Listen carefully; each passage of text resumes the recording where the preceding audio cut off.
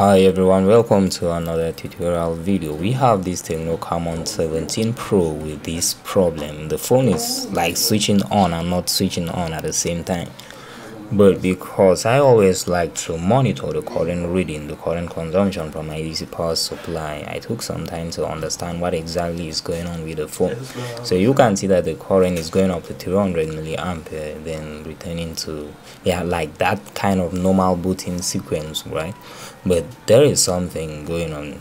There are times that the phone, and the phone is not switching on, even though the screen is cracked the customer thought that the screen was a problem but the, the technician who gave me gave another new screen and the phone is not actually powering on. So the phone is stuck at 156 milliampere at times and at times it's stopped at 40 so because of that i noticed that the phone is trying to switch on even though it's not consuming a stable current when you connect it to charge which means that it's trying to switch on and also it's having some problems charging so because of this i noticed that maybe there is uh, a short somewhere in the PCB which was the last thing that I was thinking about. But first thing the first part that I suspect was the backlight IC circuit and that's where we're heading to right now. So I use my drilling machine to create a point so that I can easily pull out the shield from there. And I applied my my paste is paste or flux yeah I apply this and uh, yeah just pull it out. Just to pull it out. And surprisingly this was the the circuit with the problem. Like this was so good my analysis was so good that yeah i was like i'm the real time. You get it? So taking a look at this you will see that if you are used to working on backlight IC circuits 6-pin backlight IC circuit you will know that this burn IC right here is the fuse coil resistor. Yeah that's the uh, LEDA line that is burned right there. That's the LEDA inductor that is that is burned right there so first thing that you have to make sure you have to make sure that the LED line and the circuit in general is not shorting maybe the burn is just the problem here.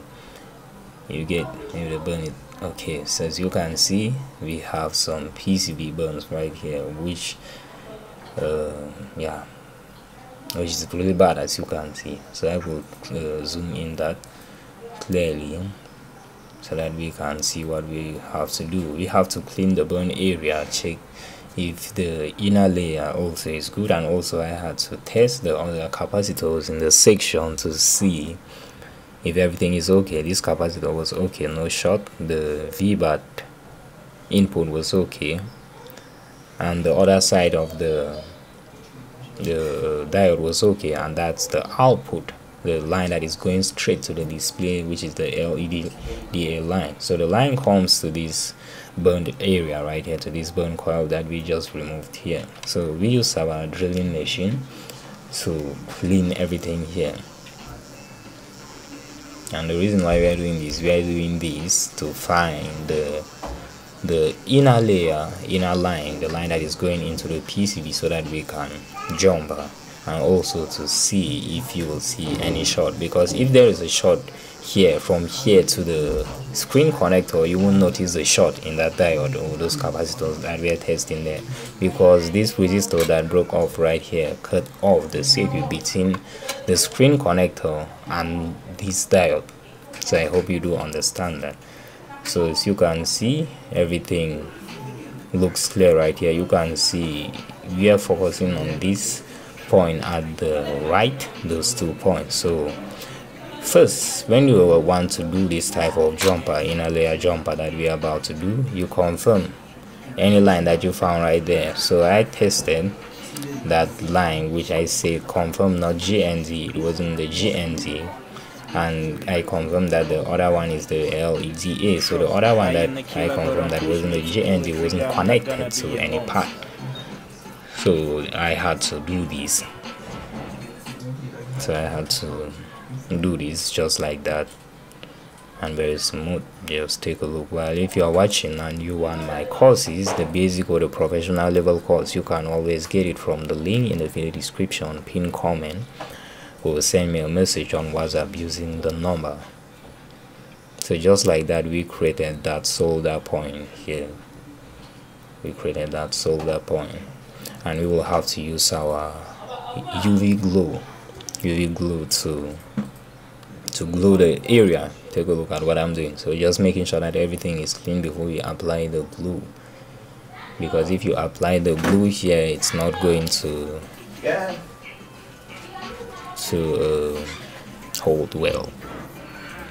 So taking a look at the area everything seems okay. And also when you are doing this you have to test make sure that the, the, the solder point that you created is not in contact with GND so I confirmed that already. And now I'm applying the glue just like that and very smooth.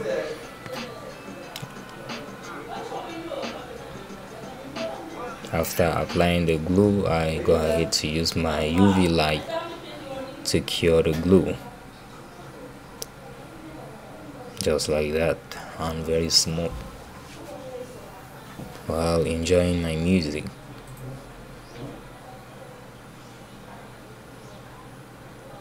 So you just apply that.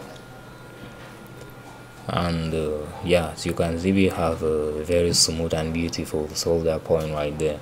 So forget about this other side. We're just doing a jumper here. This other side there is no need to connect that.